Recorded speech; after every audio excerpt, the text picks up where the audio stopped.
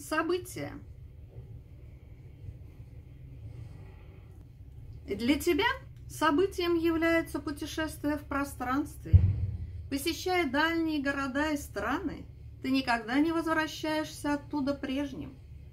Для меня событием является путешествие в свой внутренний мир, о реальности которого свидетельствует время моей жизни, потраченное на эти путешествия. И да, из них я тоже никогда не возвращаюсь прежней. События.